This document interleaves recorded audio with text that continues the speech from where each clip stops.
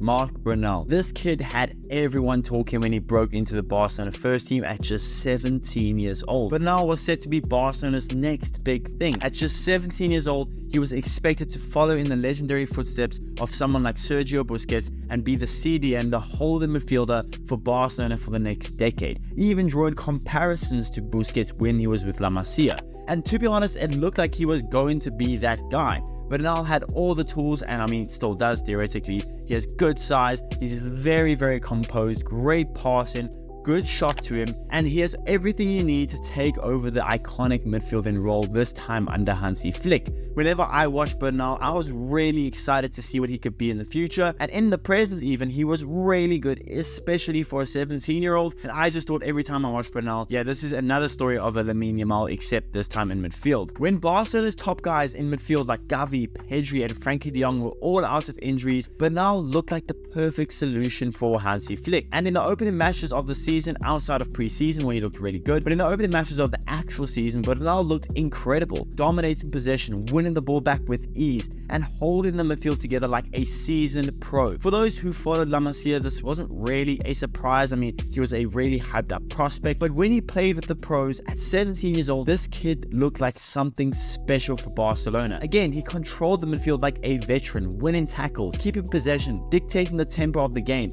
It was clear that this kid was special, and Bernal seemed built for the next 10 years to be the anchor for Barcelona, to allow guys like Pedri and whoever else to push forward without having to worry as much defensively because Bernal was just so good at winning the ball back and keeping the game ticking. But just when things were looking perfect for Bernal, in the third game of the season, disaster struck. Three games into the season, he his ACL in a match away against Rayo Vallecano, sidelining him now for the entire season. A major blow for both him and the team, and they were just starting to find momentum with Bernal as their young midfielding sensation. So what were Barca to do? They had so many injuries, plus Bernal now. What do they do? They should have bought a midfielder in the summer. Every Barcelona fan has said that, but they didn't. So what do they do now? Well, enter Marc Casado. Now let's be real for a second. Casado was not not supposed to be the answer. He was 20 years old, captain of Barcelona Athletic, and a solid player overall, but not someone anyone expected to fill the void left by Bernal. In fact, last season when Barcelona were dealing with injuries, Xavi didn't even consider him for the team. He was experimenting with centre-backs like Christensen and Eric Garcia in midfield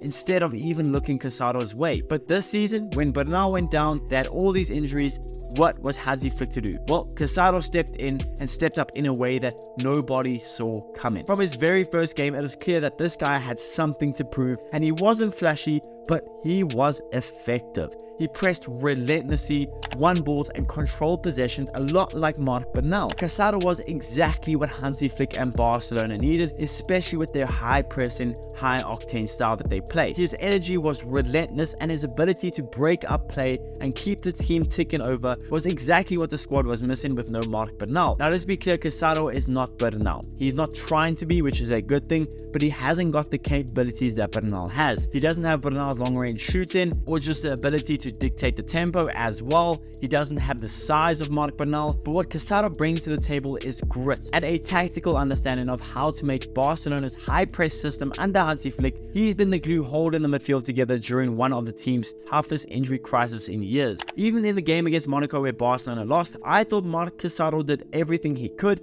and he looked really impressive. I mean, if you look at some of his underlying numbers, you can kind of start to understand what type of player Marc Casado is. He is 94th percentile in assists per 90. He ranks in the 88th percentile in passes attempted, 90th percentile in pass completion rate, 92nd percentile in progressive passes, showing that despite all his grit and his determination, he is still a really good on-the-ball player to help the team keep possession and even push the team forward with his progressive passes, but he ranks in the 80th percentile of all midfielders in tackles and the 83rd percentile in clearances of all midfielders, again showing that he is very effective defensively. But here's the wild part. Despite being overlooked last season, Casado is now earning his place in the squad. He's not just filling in until the stars come back, he's making a case to stay in that lineup. His versatility being able to play both deeper in a CDM role and also further up the pitch in the kind of 8 and 10 if he needs to, that has made him invaluable for Hansi Flick. And again, his work rate is something Hansi Flick values so much because as you all know, Hansi Flick likes to play